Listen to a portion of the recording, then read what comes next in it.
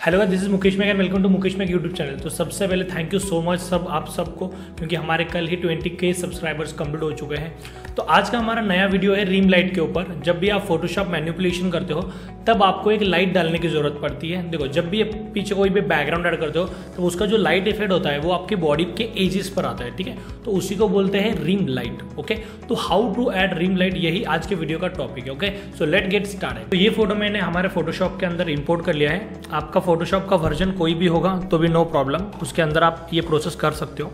तो मैंने सिर्फ़ आपको दिखाने के लिए रिम लाइट दिखाने के लिए ही ये फ़ोटो ओपन किया है। मैंने कुछ प्रॉपर कटिंग वगैरह नहीं किया इस पर देखो, जब भी आप फोटोशॉप मैनिपुलेशन करते हो तो सबसे पहले बैकग्राउंड कट करना पड़ता है। उसके बाद में बैकग्राउंड को ऐड करना पड़ता है। उसके बाद में बैकग्राउंड और बॉडी को मैच करना पड़ता है, ठीक है? इसके बाद में आपको जो है वो रिम लाइट डालना है ओके तो अगर आपको ये पूरे स्टेप बाय स्टेप मैनिपुलेशन का भी वीडियो चाहिए तो मुझे मुझे कमेंट के अंदर बता देना, उस पर भी मैं वीडियो ज़रूर बनाऊँगा ओके तो देखिए, सबसे पहली स्टेप जो है, आपको बॉडी के लेयर पर आना है और उस पर डबल क्लिक करना है।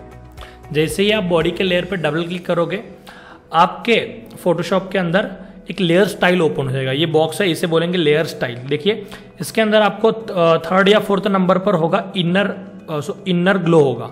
इनर ग्लो ऑप्शन पर क्लिक कर देना है।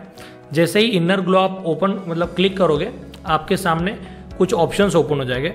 इसके अंदर आपको क्या करना है, देखिए ब्लेंडिंग मोड को कर देना है कलर डॉज ठीक है? उसके बाद में नॉइस को ज़ीरो कर देना है पहले। ओपेसिटी को थोड़ा सा डाउन रखना है। और कलर जो है, वो रेड ले लेना है। सबसे पहले आपको कलर सिलेक्ट करना है, यहाँ से। जो भी बैकग्राउंड का कलर है। अब देखिए बैकग्राउंड में कौन सा ऑरेंज कलर है? तो ऑरेंज पे क्लिक करूँगा और उसका सैचुरेशन मतलब थोड़ा उसको ऑरेंज की तरफ़ लेके जा रहा हूँ। मतलब कलर सिलेक्ट कर दिया। ब्लेंडिंग मोड आपको रखना है कलर डॉज ये नंबर वन कलर सिलेक्ट करना है। उसके बाद में ब्लेंडिंग मोड चेंज करना है। उसके बाद में ओपेसिटी कम ज़्यादा करना है, ठीक है? फिर देखिए, आपको करना है ऐसे नीचे आना और इसको जो साइज़ है, उसको कम ज़्यादा करना है, ठीक है? तो साइज़ तो हम ऑब्वियसली कम ही रखेंगे, ठीक है? उसके बाद में देखिए, आपको चोक जो है, कम ज़्यादा करके देख लो आप। आपको सिर्फ़ एजेस पर लग, एजेस पर लगाना है तो चौक को भी थोड़ा कम रखना है। रेंज जो है रेंज को भी आप छोटा कम ज़्यादा करके देख लो। कम रखोगे तो अच्छा नहीं लगेगा ये एक रेक्टेंगुलर शेप में देखेगा। सॉरी एक मतलब ऐसे पाइप के शेप में देखेगा। आपको रेंज थोड़ा सा बढ़ा लेना है ठीक है? ये जो नीचे का है जिल्टर ये भी आपको थोड़ा सा देखिए। अरेंजमेंट कर लो, इससे ज़्यादा कुछ फ़र्क नहीं पड़ेगा। इसको थोड़ा कम ही रखना है। मतलब इसमें जब भी आप आओगे तो आपको चार चीज़ें सबसे इंपॉर्टेंट एडजस्ट करनी पड़ेगी। सबसे पहले कलर लेना पड़ेगा जो बैकग्राउंड के अंदर है। उसके बाद में ब्लेंडिंग मोड जो है, वो उसको रखना पड़ेगा कलर डॉज ओपेसिटी कम ज़्यादा करके आप देख सकते हो आपको कितना लाइट इफ़ेक्ट चाहिए। ठीक है? अब इसके बाद में देखिए, ये सब चेंजेस होने के बाद में आपको सिंपली ओके कर देना है। जैसे ओके करेंगे, आप देख सकते हो आपके पूरे फ़ोटो के ऊपर रिम लाइट ऐड जो ऐड हो चुकी है। देखिए फ़ोटो के अंदर पूरा जो बॉडी है, उस पर रिम लाइट ऐड हो चुकी है।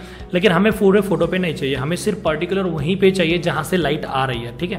तो आप इस फ़ोटो के अंदर देख सकते हो इसके मतलब लेफ़्ट साइड से एक लाइट आ रही है। तो मैं क्या करूँगा, देखो, इसको पर्टिकुलर एरिया पर लगाने के लिए सबसे पहले इस बॉडी के लेयर पर एफ़ जो आया है, इस पर राइट क्लिक करना है और यहाँ पे क्रिएट लेयर पर कर देना है। जैसे क्रिएट लेयर पर आप क्लिक करोगे तब आपके पास में उस जो लेयर स्टाइल हमने ओपन किया था, जो रिम लाइट हमने ऐड करी है, वो नए लेयर पर ओपन हो जाएगी। अब आपको क्या करना है, इसको ऑल्ट प्रेस करके ऐड लेयर मास्क पर क्लिक कर देना है। जैसे क्लिक करोगे, आपका वो जो रिम लाइट है, वो मास्क हो जाएगा। फिर आपको सिंपली ब्रश लेना है सिंपल ब्रश और जब भी आप ब्रश लेते हो, तब आपको कभी भी याद रखना है कि जब आपका यहाँ पे ब्लैक होगा, तब आपका जो फोरग्राउंड कलर है, वो वाइट होना चाहिए। आपको सिंपली ब्रश लेना है। ब्रश का हार्डनेस राइट क्लिक करके ज़ीरो रखना है। ओके? उसके बाद में ऊपर जो फ्लो और ओपिसिटी है, उसको हंड्रेड हंड्रेड ही रखना है। अब आपको जहाँ पे भी रिम लाइट चाहिए, वहाँ पे सिंपली इसको यूज़ करना है। ओके?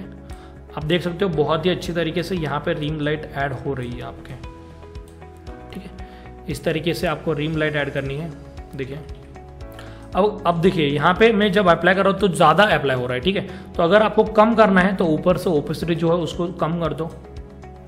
देखिए, इस तरीके से। टीम लाइट ऐड हो चुकी है। ठीक है? अब देखिए, प्रॉब्लम कब आती है? जब एक से ज़्यादा पीछे कलर्स हो, ठीक है? अब समझो ये एक कलर हो गया। अब अगर आपको देखो, अभी मास्क करने का फ़ायदा क्या है? अगर आपको समझो यहाँ पे नहीं चाहिए तो जैसे ही यहाँ पे एक्सप्रेस करोगे, ये बैकग्राउंड और फोरग्राउंड कलर चेंज हो जाएँगे। और फिर से अगर यूज़ करोगे तो आप उसको रिमूव भी कर सकते हो। ठीक है? तो ये रिम लाइट ऐड हो चुकी है। अब मैं आपको और एक स्टेप बताता हूँ मतलब और एक तरीका बताता हूँ, इससे ईजी सबसे पहले आपको न्यू ब्लैंक लेयर लेना है। फिर उसको राइट क्लिक करके क्रिएट क्लिपिंग मास्क कर देना है पहले ही, ठीक है? फिर उसका ब्लेंडिंग मोड चेंज करना है कलर डॉज मतलब पहले ही आपको कलर डॉज कर लेना है और उसको, जो लेयर है, उसको क्रिएट क्लिपिंग मास्क कर लेना है. उसके बाद में सिंपल एक ब्रश लेना है आपको.